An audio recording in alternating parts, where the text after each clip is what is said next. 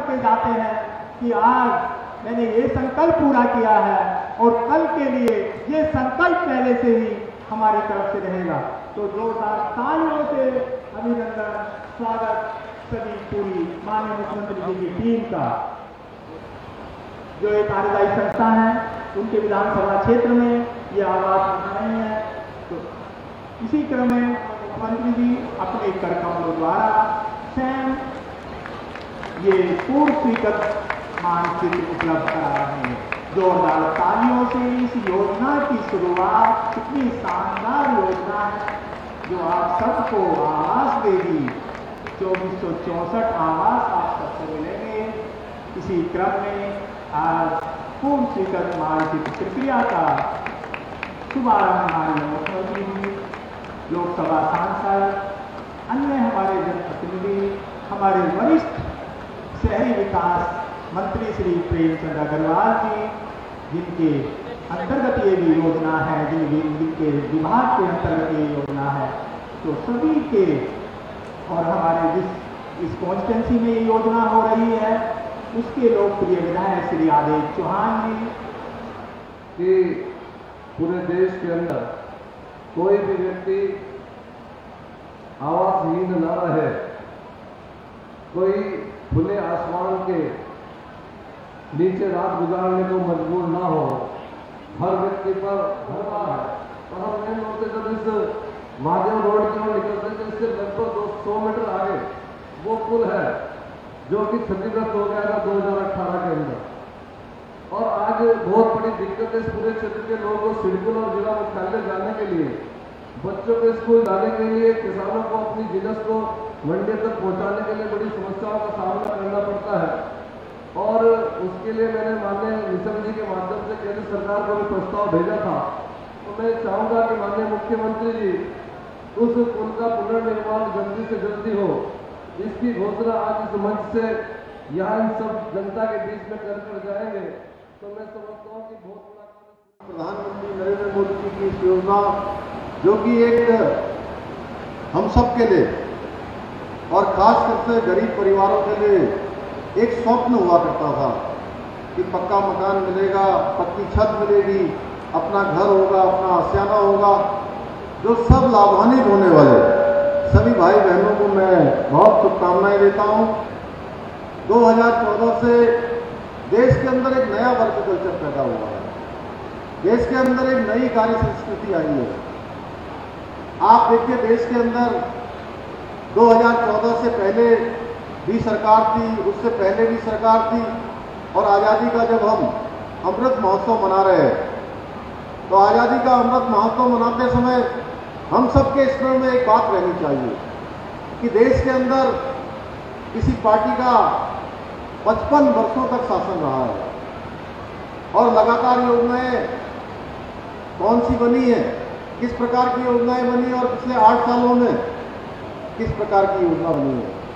पिछले आठ सालों में जो भी योजना बनी है, वो योजना केवल और केवल गरीबों के लिए बनी है। योजना केवल और केवल समाज के अंतिम छोर में खड़े हुए ऐसे लोगों के लिए बनी है, जिनको उस योजना की आवश्यकता थी। उनके जीवन को आगे बढ़ाने के लिए, उनके जीवन स्तर को ऊपर उठाने के लिए, उनके बच्चों के भविष्य को आगे बनाने के लिए। ये काम किसी और ने नहीं किया। हफ़्ते के अंदर एक सप्ताह में एक दिन। हमने नौ मीटिंग्स तय का कर दिया है कि सोमवार का दिन अब सचिवालय में कोई मीटिंग नहीं होगी। सचिवालय के अंदर इस दिन हमारे जो अधिकारीगण हैं, वो मीटिंग नहीं करेंगे।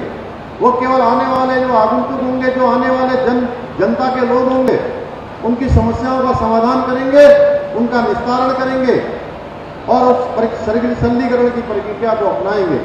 इसी प्रकार से हमने जिलों में भी कहा है कि पहले तीन दिन 10 से लेकर 12 बजे तक सारे अधिकारीगण, चाहे वो जिलाधिकारी के कार्यालय हो या नीचे के कार्यालय हो, सारे कार्यालयों में अपने अपने कार्यालयों पर जो है उसी पाए जाएँगे।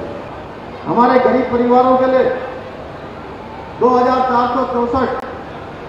मकानों का जो शिलान्यास हमने किया है, मैं इस अवसर पर आप सबको बताना चाहता हूँ कि हमने चुनाव से पहले एक घोषणा की थी। एक संकल्प लिया था कि हम जो हमारे गरीब परिवार हैं, उन गरीब परिवारों के लिए एक साल के अंदर तीन सिलेंडर मुफ़्त में भरवाकर हमारी सरकार देगी।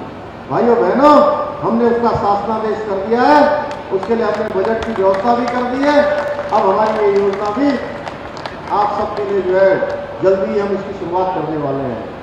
अगर आप सबको भी कहीं लगे, किसी भी कार्यालय पर अगर आपके कोई काम करने में कोई रिश्वत माँगता है, किसी प्रकार की कोई भ्रष्टाचार की बात करता है, आप उस नंबर पर अपना डायल कर देंगे और आप जैसे ही डायल करेंगे, सीधे वहाँ पर विजिलेंस के द्वारा, सीधे उसको अपने सर्विलांस में ले लिया जाएगा और सर्विलांस में लेने के बाद उस पर त्वरित गति से कार्रवाई होगी।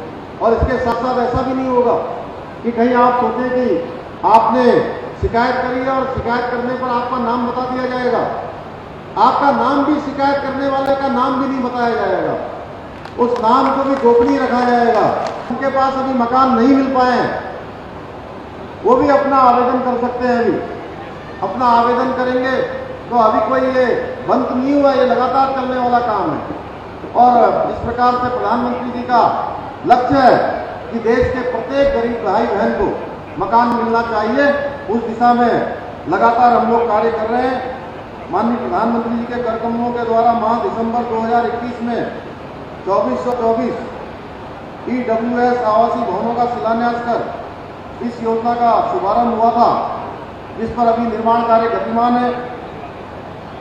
हमारे देश व प्रदेश की माताएँ बहनें जिनके पास रहने की छत नहीं थी, किसी को पुल के नीचे, किसी को सड़क के किनारे, किसी को रेलवे स्टेशन पर किसी को बस अड्डे पर झुग्गी झोपड़ियों पर परिवार सहित अपनी रातें गुजारनी पड़ती थी।